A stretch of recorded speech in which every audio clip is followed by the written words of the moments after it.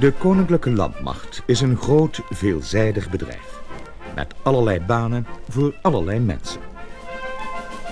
Om je iets meer te vertellen over hoe het is om bij de landmacht te werken... ging Sonja Baert eens een praatje maken met enkele landmachtmedewerkers. Eerst een officier voor speciale diensten. Ik ben normaal PC, gewoon pelotonscommandant. Pelotonscommandant. En uh, wat is uw opleiding? Nou, ik ben via MTS, HTS, OCOSD. Wat zei u daarna? Want ik kan OCOSD. Maar wat is dat in hemel? Opleidingscentrum voor officieren speciale diensten. Oh ja, maar hoe bent u op dat idee gekomen om daar naartoe te gaan? Nou, een beetje via advertenties. Nou, je hebt natuurlijk wel een idee wat je wil gaan doen. Het heeft mij altijd wel wat getrokken, dat leger.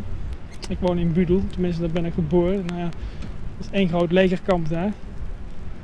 Reden te meer om er uh, niet naartoe te trekken? Nee, nee, dat vind ik niet. Dus trok mij als jongetje wel aan zo, in die bossen, vlakbij. Ja.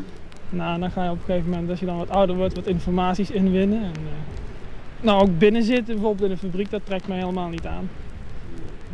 Maar u hebt een erg goede opleiding, dus u had waarschijnlijk in de burgermaatschappij ook een heel eind gekomen. Waarom hebt u dat Jawel, misschien wel. Nou, de motivatie dus als je in dienst gaat is natuurlijk wel anders dan wanneer je er zit. Dat, uh, dat is wel zo. Je weet niet precies wat je te wachten staat. Nee, vertel daar eens iets over. Dus, uh, want als je als HTS er dienst in gaat, dan denk je natuurlijk van nou, technisch werk, hè, verbindingsdienst. En dan kom je op de opleiding. En dan is het de eerste vier maanden, dan uh, ga je het veld in. Dus dan is het gewoon putje graven, achter je wapen liggen en koekeloeren tot er iemand komt. Hè. Dat valt dan tekenen, omdat ze dan nog niet weten wat ze eigenlijk dan inderdaad wel te wachten staan. Ja. En dat is inderdaad wel techniek. Nou ja, techniek is toch 80% eh, van de tijd met kerels omgaan. Dus dat moet je wel weten van tevoren. Maar het is wel leuk werk. En hebt u nou iets getekend waardoor u jaren moet blijven? Of kunt u er ten alle tijden uit? Nee, je moet wel uh, zes jaar tekenen. Ja.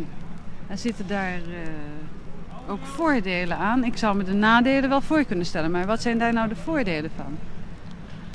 Ja, misschien een voordeel dat je niet ontslagen kunt worden. Maar... Nou, dat is tegenwoordig misschien een groot voordeel. Ja, maar dan moet je niet voor een dienst komen, want dan ga je eronder door.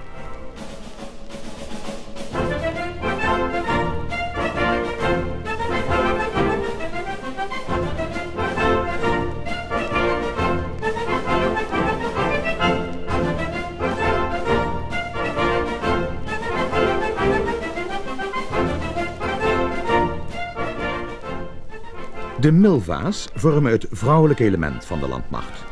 In vele officiers- en onderofficiersfuncties. Uh, wat doe je nou eigenlijk precies de hele dag? Uh, nou, ik werk bij de verbindingsdienst en uh, ik krijg uh, alle berichten, alle telegrammen van telex, ordonnans en radio krijg ik op mijn bureau. En die verzorg ik dan verder dat ze naar andere stations worden gezonden of naar de onderdelen. Is dat verantwoordelijk werk? Ja, bepaald wel. Ja. En hoe lang zit je hier op een dag? Het zijn gewoon wisselende diensten. Je hebt dagdienst van 8 tot 5 en een avonddienst van 5 tot 11. En nachtdienst van 11 tot uh, 8 uur s ochtends weer. Krijg je daar extra voor betaald voor zulke soort werk? Nee. nee. Het is gewoon uh, dienst. ja. Ga je nou wel eens uh, naar buiten op bivak of iets? Dat heb ik in de eerste opleiding gehad, in de EAO. En dan in de onderofficiersopleiding. En hoe vind je dat eigenlijk, bivak? Of hoe vond je dat? Uh, nou, achteraf gezien zeg je, het is erg leuk geweest. Maar ondertussen, ik heb uh, regen gehad en uh, vriezen zo is koud. Dus mm. dan loop je wel eens te klagen en te piepen. Maar het is een hele leuke ervaring.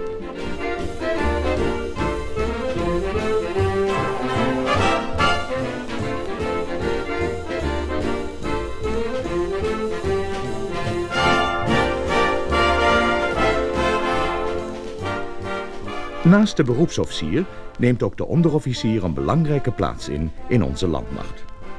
Hun opleiding krijgen ze aan de Koninklijke Militaire School te Weert. Toen ben ik uh, eigenlijk door belangstelling voor de motorsport ben ik in contact gekomen met iemand die beroepsmilitair was. En dat vond ik eigenlijk gek. Ik kon niet begrijpen dat iemand beroepsmilitair kon worden. Toen vroeg ik wat hij zoal deed en wat de mogelijkheden waren in dienst. Nou, toen denk ik, dat kan ik ook wel doen. Er zat een negen maanden proeftijd, dus ik kan altijd wel kijken of het bevat. In een dienst moet ik toch. Nou, toen heb ik dus aangevraagd een technische opleiding. Die heb ik gekregen.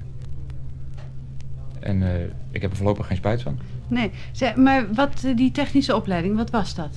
Bent u naar de KMS gegaan? Eerst naar de KMS. 12 maanden. En dan daarop 15 maanden krijg je eh, een rijopleiding op eh, wielvoertuigen, rupsvoertuigen. En een eh, technische opleiding Hmm. op wiel- en rupsvoertuigen. En u bent nu technisch specialist? Nee, ik ben beroepsmilitair. Oh, u bent beroepsmilitair, sorry. Ja. ja, dat is voor mij zo ontzettend moeilijk. U bent beroepsmilitair, maar wat bent u dan precies? wat, Eh, is uw, wat is uw functie? Wat doet u de hele dag? Commandant onderhoudsgroep. Ja, en wat wil dat zeggen? Wat doet u dan de hele dag? Nou, je bent eh, verantwoordelijk voor het onderhoud van de wiel- en rupsvoertuigen van een compie of van een onderdeel in elk geval. Ja. En dan heb je dus monteurs en met die monteurs moet je het hele zaakje aan het draaien houden. Is dat nou wat u zich had voorgesteld? Ehm, misschien dat ik zelf iets meer had willen sleutelen zelf, een sleutel in mijn hand houden. En dan krijg je hier minder gelegenheid voor. Maar dat wil niet zeggen dat het altijd zo is. Want als ik bij wijze van spreken bij een ander onderdeel kom, dan word ik eh commandant werkplaats. En dan moet je dat wel doen. Ja. Hoe zit dat eigenlijk met die overplaatsing? Kunt u zomaar overgeplaatst worden? Theoretisch wel, maar dat komt in de praktijk niet zoveel voor.